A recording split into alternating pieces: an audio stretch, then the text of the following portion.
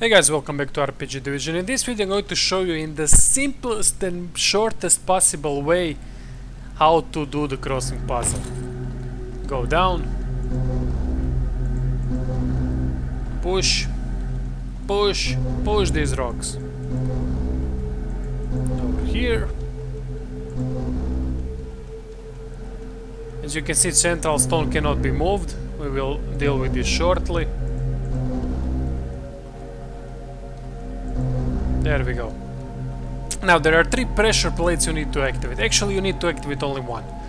But if you throw stone over here, from you can move the rocks to accommodate your position so that you can throw the rock properly. You can then throw it on this plate and it will illuminate the path up ahead.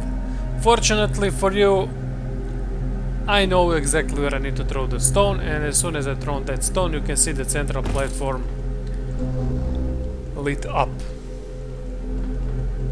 Now it's only matter of putting the stones into place.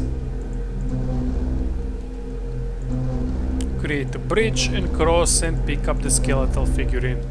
Also you will be able to receive a great axe.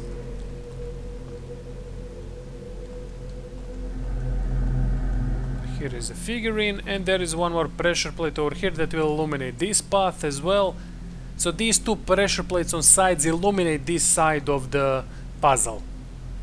But your goal is to throw rock on this one. That's it. Go over there to collect